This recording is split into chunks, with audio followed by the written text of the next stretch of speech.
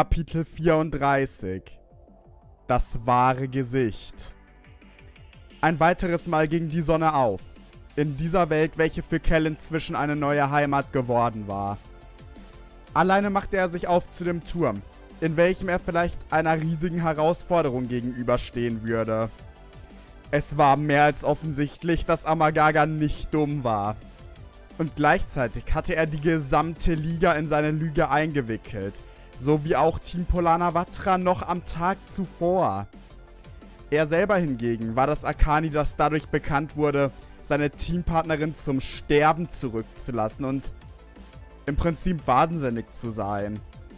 Und doch musste er irgendwie alle davon überzeugen, dass sein Wort das wahre wäre und nicht das des allseits bekannten und vertrauten Amagaga.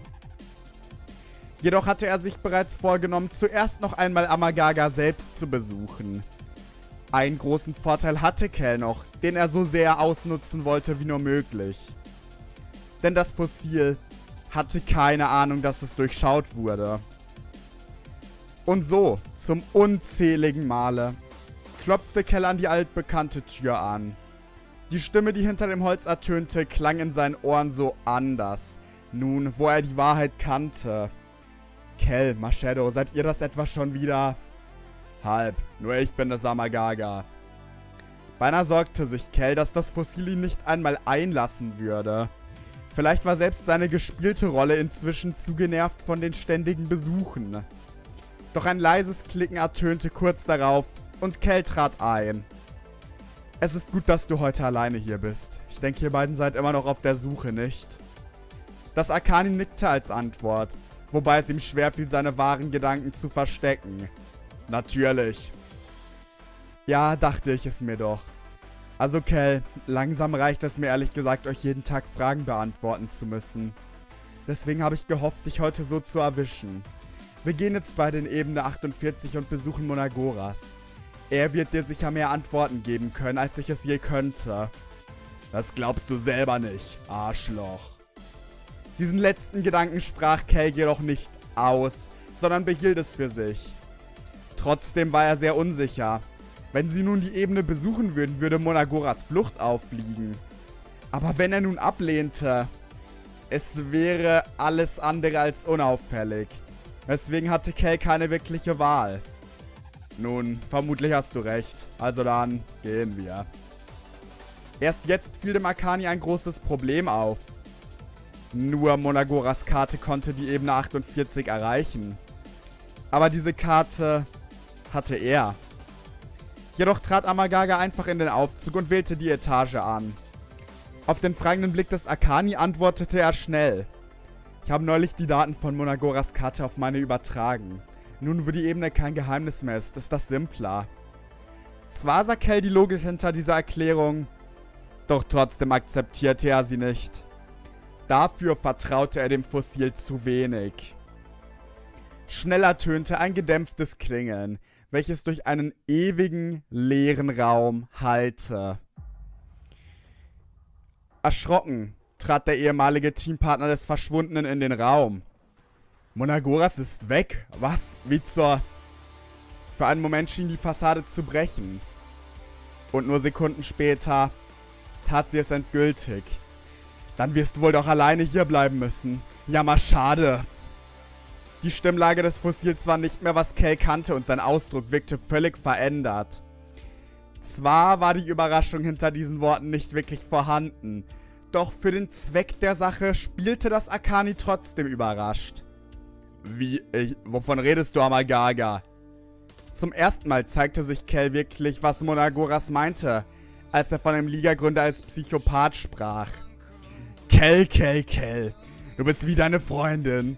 Du hast noch so viel zu lernen. Zum Beispiel, dass man manche Dinge einfach akzeptieren sollte. Es kotzt mich an, wie viel Hoffnung du noch hast. Wo ich doch gerade alle davon überzeuge, dass Aurora schon tot ist. Wirklich lästig. Deswegen wollte ich dich erst einmal hier bei deinesgleichen verwahren, aber... Nun, wo er weg ist, hast du jetzt zumindest Platz genug. Erklär dich, Amagaga. Was geht hier vor? All diese Fragen dienten alleine der Täuschung, auf welche der Anführer des Team Fossil auch hereinfiel. Vertrauen schadet Akani, gerade im Angesicht meines unermesslichen Genies. Monagoras war unschuldig, aber mehr Informationen benötigst du erst einmal nicht. Also sei brav, dann lass ich dich vielleicht in Frieden. Aber erst einmal ein paar Tage aus dem Weg brauche ich dich.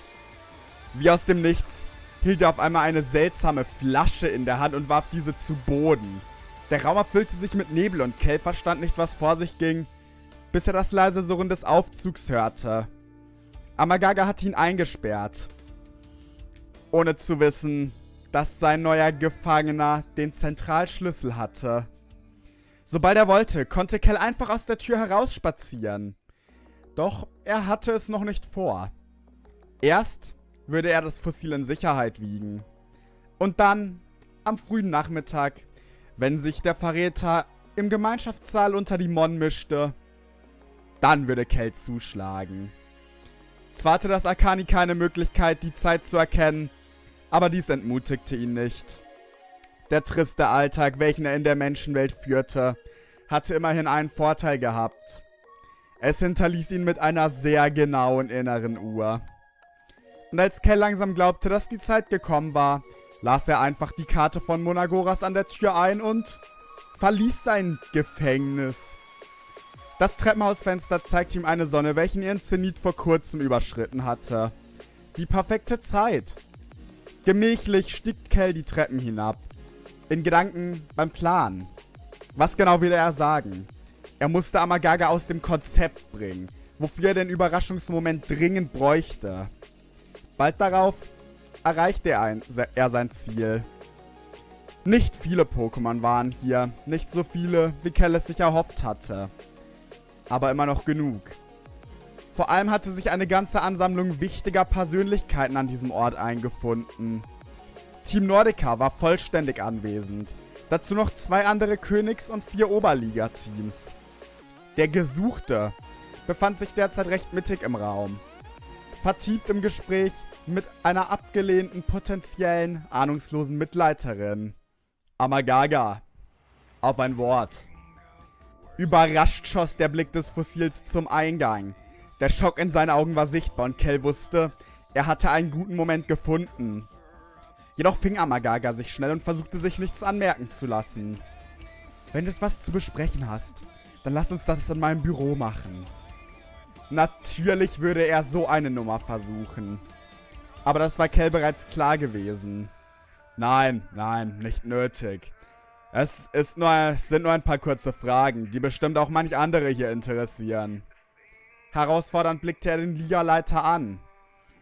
Erklärst du bitte allen hier Anwesenden, weshalb du Monagoras beschuldigt hast, mit Epsilon zusammenzuarbeiten, während du selber die Rüstung dort versteckt hattest. Und weshalb du mich gerade auf Ebene 48 einsperren wolltest. Oder wo du Aurora gefangen hältst, die du seit eurem Gespräch versteckt hältst. Weshalb ich dich neulich mit Epsilon habe reden hören. Erklär das bitte kurz, Samagaga. So ziemlich jedes Pokémon im Raum warf seinen Blick nun auf das Geschehen hier im Zentrum. In Amagagas Blick sah Kell ein Funken des Zorns. Offensichtlich hatte das Fossil nicht erwartet, so bloßgestellt zu werden. Jedoch wusste er, seine eigenen Waffen der Täuschung auszuspielen.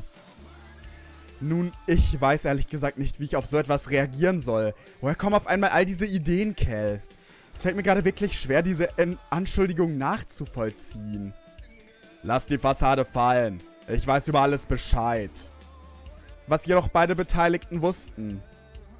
Die Fassade würde nicht fallen, solange niemand außer Kel und seinen engen Vertrauten die Wahrheit kannte. Ich weiß wirklich nicht, was dieser Unsinn auf einmal soll, Kell. Du und ich, wir wissen beide, dass ich selbst angegriffen wurde. Und ich weiß ja auch, dass es schwer für dich war, Aurora zu verlieren. Aber Wahnvorstellungen sind definitiv nicht der Weg. Wahnvorstellungen. So etwas werde ich mir nicht von einem Pokémon anhören, das Jahre mit einem Pokémon in einem Team verbringt, nur um dieses dann zu verraten. All die Blicke und Stimmen um Keller rum verrieten ihm wenig über die Meinung der Liga. Alle bis auf Elementara die sich aktiv in das Gespräch einschaltete. Das ist mehr als genug, Kel. Du warst doch selber derjenige, der Monagoras gestellt hat. Auf einmal willst du deine Meinung ändern? Weil ich Unrecht hatte. Genau wie alle hier. Damit Amagaga zu trauen. Eine Trumpfkarte hatte sein Gegenüber jedoch, mit welcher Kell nicht gerechnet hatte. Ein Moment, wenn du von Monagoras Unschuld überzeugt bist. Warst du etwa derjenige, der ihn hat gehen lassen? Natürlich, mit allem Recht. Mit derselben Schlüsselkarte, mit der ich mich aus deiner Falle befreit habe. Zwar sah selber an dieser Aussage nichts als ein valides Argument. Doch er hatte das Misstrauen der anderen Pokémon gegenüber Monagoras und ihm eindeutig unterschätzt. Monagoras ist frei? Was? Amagaga selber sah seinen Einsatz als der ach so gutmütige Ligaleiter. Er trat einen Schritt nach vorne um die Tiefe seiner falschen Worte zu untermalen. Kel, dir ist bewusst, dass du dich aktiv zu unserem Feind machst, oder? Ich verstehe deinen Frust und deine Trauer, aber die Befreiung eines Mitglieds der Plot-Elite ist alles andere als die Lösung. Aber ich verstehe dich auch wirklich. Händige uns den Gefangenen aus und wir regeln das alles friedlich und freundschaftlich, okay? Überall in der Ebene erklang Zustimmung. Kels Versuch der Überzeugung war vollkommen gescheitert. Stattdessen hatte Amagaga es geschafft, die Überraschung so zu wenden, dass nun Kell selber als Verräter dastand. Deshalb entschied das Akani sich, dass eine weitere Diskussion keinen Sinn hatte. Nur über meine Leiche. Glaub mir, ich werde Aurora finden.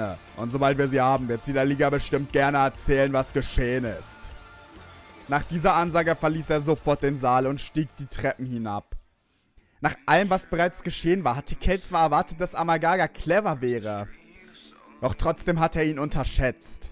Zu sehr hatte er ihn mit den Wissenschaftlern seiner Welt verglichen.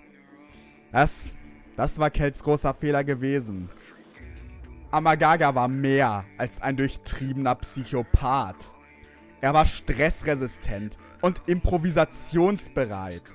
Seine Worte waren die Waffe, welche er gegen all jene nutzte, welche die Wahrheit nicht sahen. Einem derartigen Meister der, der Rhetorik war Kell in einem Streit um die Gunst der Pokémon niemals gewachsen. Seine Fassade hatte nicht einmal wirklich gewankt. Und trotz seiner schmutzigen Wahrheit hatte er perfekt den gutmütigen Ligaleiter gespielt, den all die Pokémon kannten.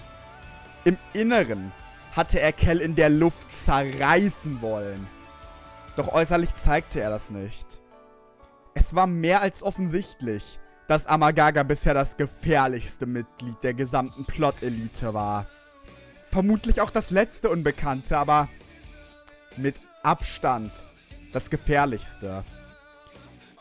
Die Mission gescheitert, entschied Kel sich zum Haus zurückzukehren. Dort würde er entweder Monagoras und Marshadow antreffen oder auf sie warten. Er musste Bericht erstatten, bevor die Suche weitergehen konnte. So ließ er den großen Turm hinter sich, welcher in Kells Augen sein Antlitz völlig verändert hatte. Zwar war es nie so gedacht,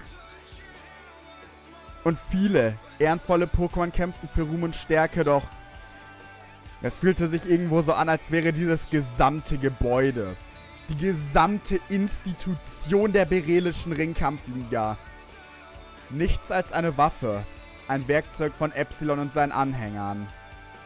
In all seinen zweifelnden Gedanken erreichte Kell bald den Hauptplatz der Stadt. Rund die Hälfte der Strecke vom Turm bis zum Haus hatte er bis hierher zurückgelegt. Der gepflasterte Steinboden erstreckte sich leer für viele Meter, umgrenzt von verschiedensten Häusern und Straßen. Nur einmal in der Woche füllte sich dieser Ort mit Leben, jedes Mal, wenn Händler aus aller Welt anreisten, um ihre Ware zu verkaufen. Heute war dieser Ort jedoch leer. Auch nur wenige Pokémon liefen herum. Eines von ihnen war Kell jedoch gefolgt. Bis an diesen Ort. Elementara. Kell, bleib jetzt stehen! Sofort erkannte der Leiter des Team Polana Vatra die Stimme. Und auch wusste er, dass sie ihm wohl nicht friedlich gesinnt war. Lass es bleiben. Ich werde nicht weiter diskutieren. Oh doch, das wirst du. Weißt du eigentlich, was du Amagaga da gerade vorgeworfen hast? Vor all den Pokémon. Hochverrat, Körperverletzung, Verleugnung. Mordversuche und moralische Experimente an Pokémon Größen waren. Habe ich etwas vergessen? Und alles davon ist wahr, ob ihr es wahrhaben wollt oder nicht.